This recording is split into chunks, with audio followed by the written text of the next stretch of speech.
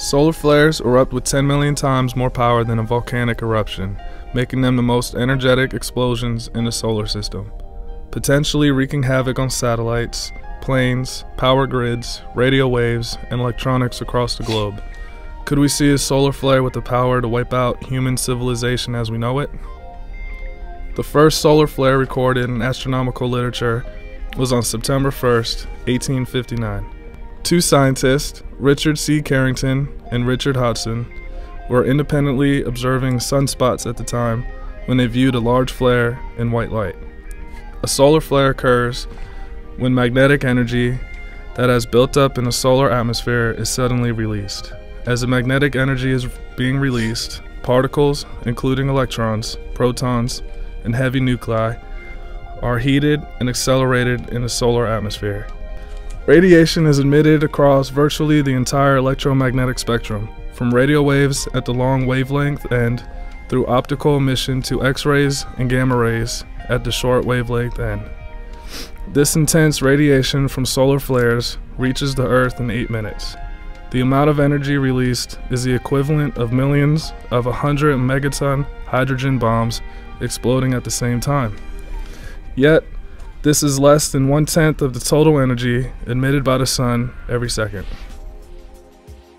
There are typically three stages to a solar flare. First is a precursor stage where the release of magnetic energy is triggered. Soft X-ray emission is detected in this stage. In the second or impulsive stage, protons and electrons are accelerated to energies exceeding their normal capacity. During the impulsive stage, radio waves, hard X-rays, and gamma rays are emitted. The gradual buildup and decay of soft X-rays can be detected in, the, in the dirt.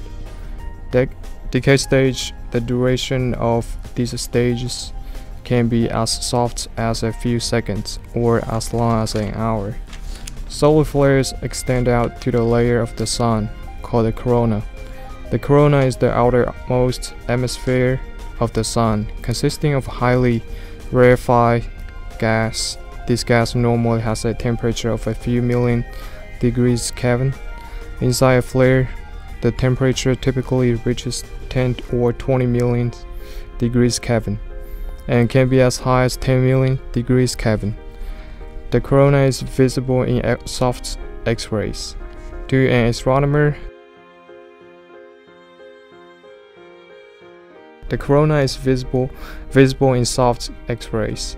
To astronomer, the corona is not uniformly bright, but its highest temperatures are concentrated around the solar equator in loop-shaped features. These bright loops are located within and connect areas of strong magnetic field called active regions. Sunspots are located within these active regions, and solar flares can only occur in active regions. The frequency of flares coincide with the sun's 11-year cycle, when the solar cycle is at minimum. Active regions are small and rare and few solar flares are detected. This increase in number as the sun approaches the maximum part of its cycle. The sun will reach its next maximum later this year or early 2013. A person cannot view a solar flare by simply staring at the sun. Flares are in fact difficult to see against the bright emission from the photosphere.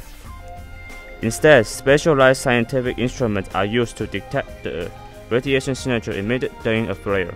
The radio and optical emission, emission from flares can be observed with telescope on Earth.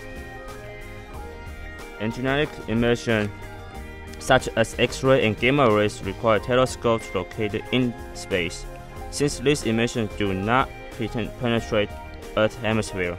According to National Oceanic and Atmospheric administrations, economies around the world will have become increasingly vulnerable to the ever-changing nature of the sun. Solar flares can in fact disrupt power grids, interfere with high-frequency airline and military communications. disrupt global position, position systems or GPS signals, interrupt civilian communications, and blanket the Earth's super upper hemisphere with hazardous radiation. Monitoring and forecasting solar outbursts in time to reduce their effect on space based technologies have become new national priorities. NOAA's Space Weather Prediction Center, part of NOAA's National Weather Service, is the nation's official source of space weather forecasts, alerts, and warnings. To monitor space events on the Sun, um, Space Weather Prediction Center staff utilizes a variety of ground and space based sensors and imaging systems to view activity at various depths in the solar atmosphere. A worldwide network of U.S. Air Force sponsored optical observatories also provides space weather forecasters with detailed, plain language information about activity in and around sunspot groups, as well as other areas of interest on the Sun. Space weather forecasters also analyze the 27 day recurrent pattern of solar activity. Based on a thorough analysis of current conditions, comparing these conditions to past situations, and using numerical models to similar uh, weather models, forecasters are able to predict space weather on timescales of hours to weeks. With effective alerts and warnings, we can minimize the hazards to technology. For example, satellite operations can be adjusted, power grids can be modified, and polar flights can be rerouted.